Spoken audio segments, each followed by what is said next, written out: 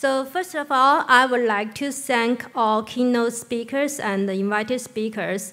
Thank you for giving us excellent speeches on artificial intelligence and cognitive architecture. Then let's start our panel about the future of AI.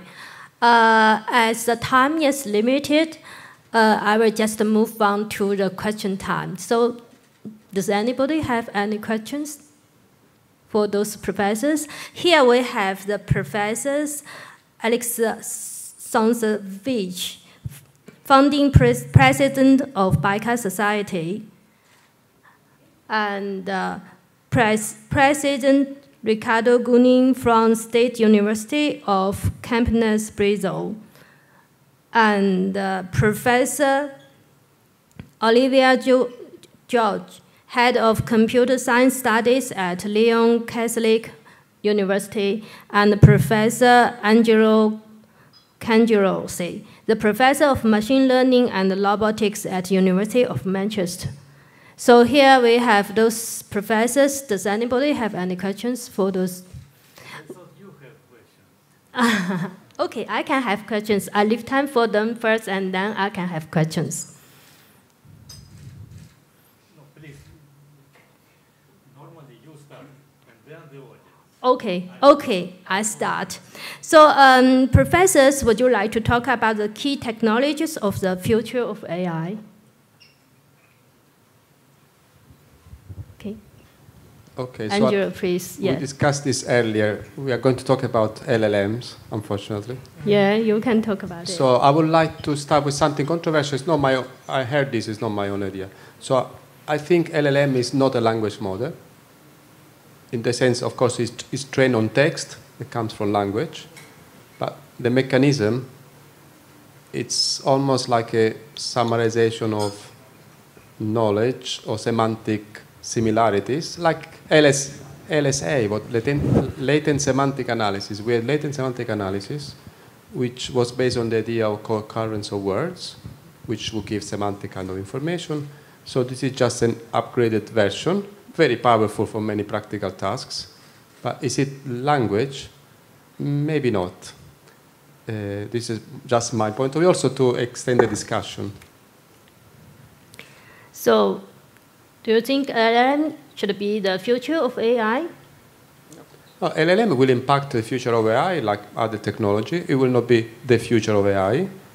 It will be it will have high impact, and uh, and of course, hopefully, we will have more methods, including what we discussed today: integration with cognitive architectures, symbolic representation, other aspects of neural networks.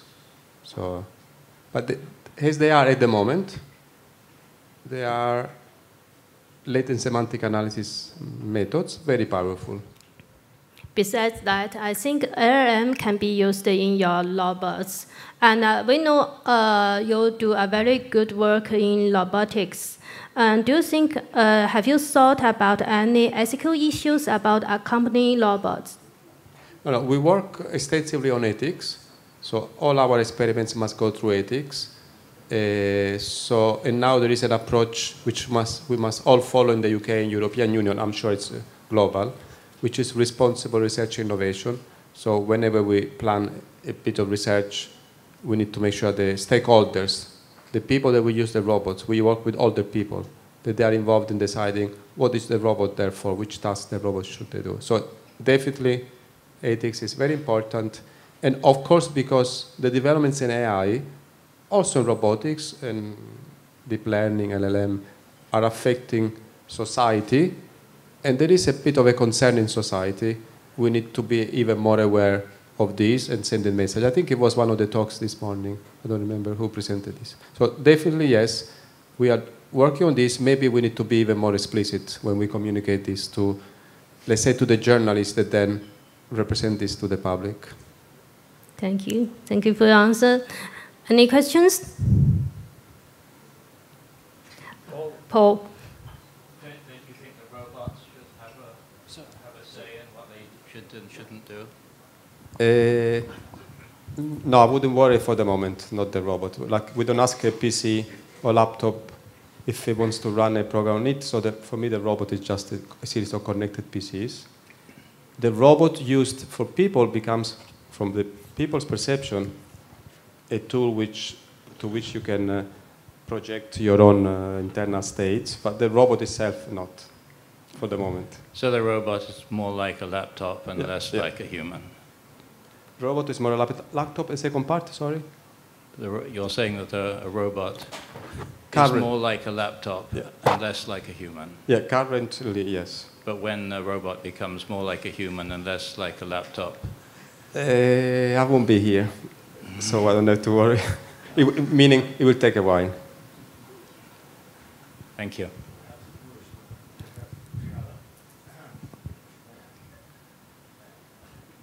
Um, I think um, I have an opinion actually.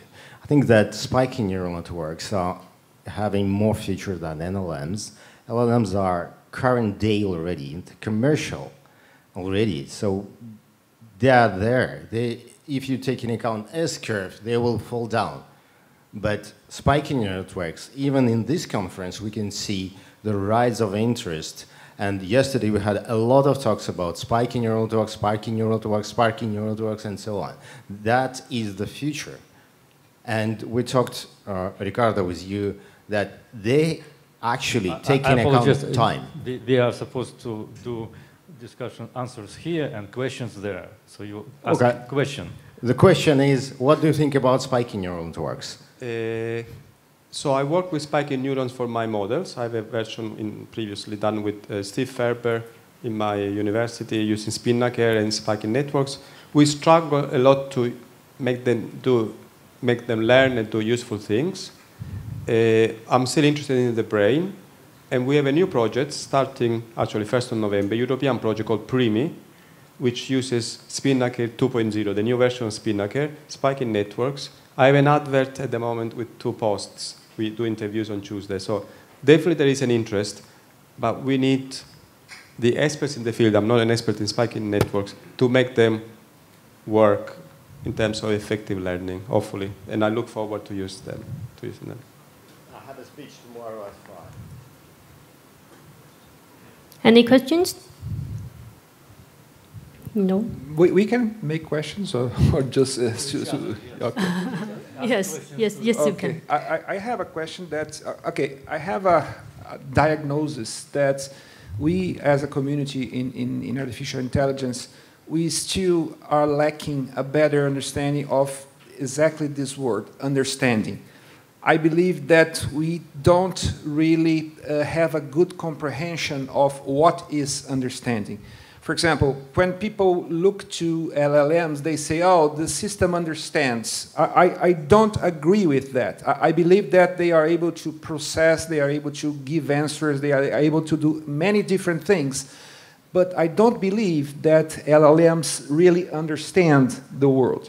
And, and I believe that even us as a community, we still need to, to have a deeper uh, uh, uh, comprehension of what it is. So my question to all of you is, what is your particular opinion of what is understanding for you? Well, maybe I should start. This is a really important question. What criteria and what measures do we need? I believe there is no simple answer. And it is a, task which is as hard as creation of the artificial intelligence itself, which means probably it will be also solved by neural networks, which need to be trained to recognize and distinguish between understanding and not understanding. Right now, if you look at the dictionary, what is understanding, you can find the definition like if you can say the same idea in different words, that means you understand. But that a Google Translate can do, right? Thank Um, so I'm not going to answer your question, which is a very good question. but I think for me, uh, since we have a lot of young, uh, bright students here, I think that so it goes beyond the question of understanding. In fact, we don't even have an, an operational definition of what intelligence is. And uh, maybe for the young generation, it will be their, their, their whole work and their, their whole contribution will be just to arrive to a consensus on what intelligence is, what understanding is, and that may take 10, 20 years, I don't know.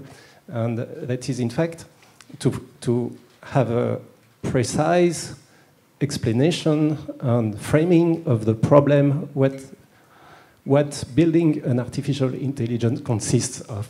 We don't even, we are not even able to frame this problem precisely.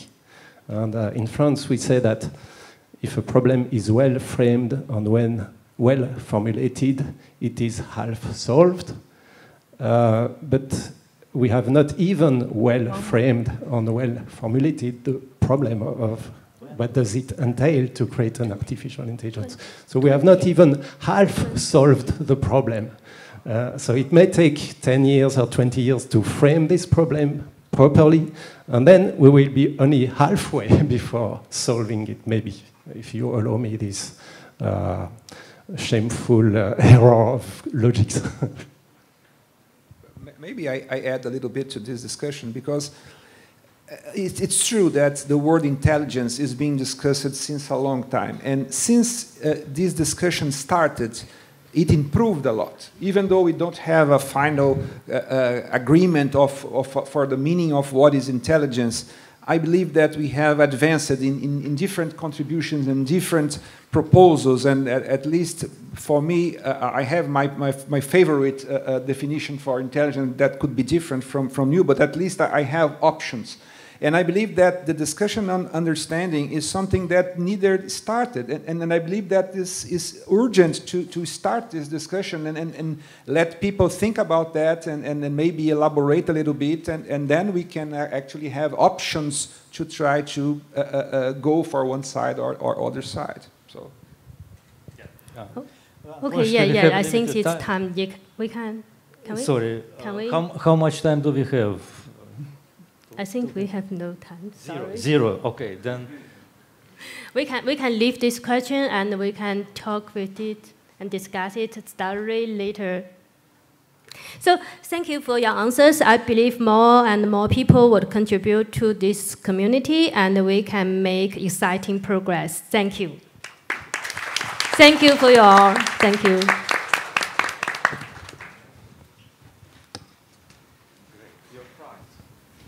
Oh, yes,